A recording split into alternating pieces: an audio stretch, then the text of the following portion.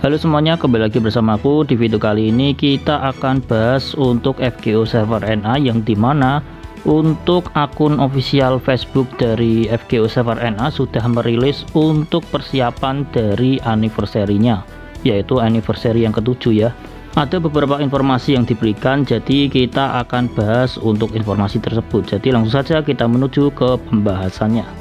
Sebelum kita bahas untuk informasi tersebut, kita akan review sedikit untuk event yang sudah hadir di FGO Server NA yang di mana benar ya untuk Gen part kedua dari perilisan untuk Lost Bell 6.5 Traum itu dipercepat. Dan tentu saja di Gen ini kita bisa mendapatkan special login bonus yang total hadiahnya itu kita bisa mendapatkan 7 golden apple dan 7 sign quart yaitu kalian tinggal login selama 7 hari penuh ya untuk kampanye part kedua dari perilisan persiapan Lost Bell 6.5 Traum itu dikhususkan untuk merilis story dari Tunguska Saktuari yang dijadiin main interlude ya. Jadi kalian bisa untuk mainin lagi yang sebelumnya kalian belum bisa atau belum dapat bermain di uh, main story Tunguska Sanctuary ini. Kalian tinggal beli aja di Rare Prism Shop ya. Harganya gratis. Kalian tinggal ambil aja tanpa bayar Rare Prism satu perser pun Selain dari login bonus, di sini ada juga ya penambahan dari master mission yang di mana ini sifatnya permanen apabila kalian sudah menyelesaikan untuk main story dari Tunguska Sanctuary. Dan di sini kalian bisa mendapatkan total 10 SK sama halnya seperti kalian ketika sudah menyelesaikan baik itu Singularity atau Lost Bell kalian juga bakalan tetap mendapatkan hadiah yang sama seperti ini ada juga special quest yang menghadirkan hadiah yaitu Beast Footprint di sini kalian bisa mendapatkan hadiahnya apabila kalian sudah menyelesaikan quest-questnya Sementara itu untuk banner gacanya sendiri akan diisi oleh servan-servan yang terkait dengan main story dari Tunguska Sanctuary yaitu ada si Taikong Wang dan juga si Dorbrinya Nikitic. Untuk servannya ini apakah worth it untuk digacha kita akan bahas di video selanjutnya aja lah ya. Selanjutnya ada juga perilisan untuk Advent Quest part kelima ini juga dipercepat ya yang asalnya itu rilisnya eh, di tanggal 20-an di sini udah tanggal 10 itu udah dirilis.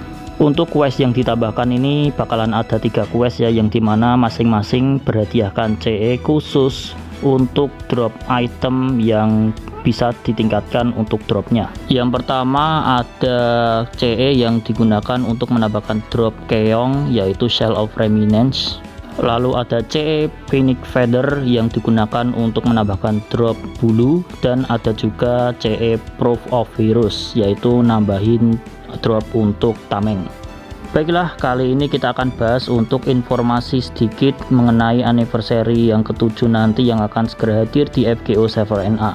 Dan ini dia postingan terbaru dari akun official FGO server NA yang ada di Facebook yang di mana diinformasikan bahwa perilisan untuk anniversary yang ketujuh di server NA akan dirilis pada tanggal 6 Juli nanti dan akan hadir di acara Anime Expo ya seperti biasanya. Seperti anniversary sebelumnya, di sini bakalan ngundang untuk beberapa seiyu dan juga si direktur yaitu Kano Yuski. Yang pertama yaitu ada si Kawasume Ayako, lalu ada si Shimazaki Nobunaga dan juga si Okuburumi. Namun yang tak kalah menarik di sini yaitu selain dari FGO anniversary yang ketujuh, di sini juga bakalan ngundang Type Moon Project ya, yang di mana kita tahu Type Moon Project itu semacam ya project baru yang akan dihadirkan nanti yang menarik tentu saja project apa yang bakalan dihadirkan nanti di anniversary yang ketujuhnya ini? Yang kemungkinan besar kalau menurut tebakanku adalah untuk perilisan anime Fate Strength Fact atau anime Mahoyo itu bakalan dikonfirmasi di stream itu nanti atau ada juga game-game seperti DLC Fate Samurai Remnant atau game dari VN Fate Stay Night yang terbaru yang dirilis berdasarkan bahasa Inggris itu juga bakalan disinggung kemungkinan.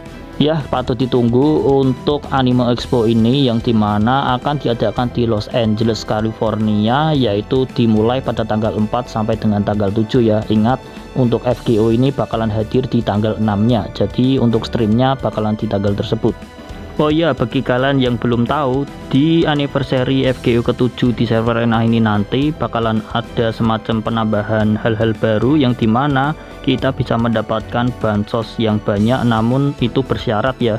Nah, syaratnya sendiri kalian bisa tonton di videoku ini. Itu ada beberapa syarat yang harus kalian lakukan untuk bisa mendapatkan banyak sekali bansos di anniversary yang ke-7 nanti. Baiklah, mungkin cukup itu untuk sedikit informasi dari perilisan anniversary FGO server NA yang ketujuh yang di mana ada sedikit informasi yang disediakan nanti jika ada informasi tambahan kemungkinan bakalan aku update lagi Oke, mungkin cukup itu. Sekian dan terima kasih. Sampai jumpa di video selanjutnya.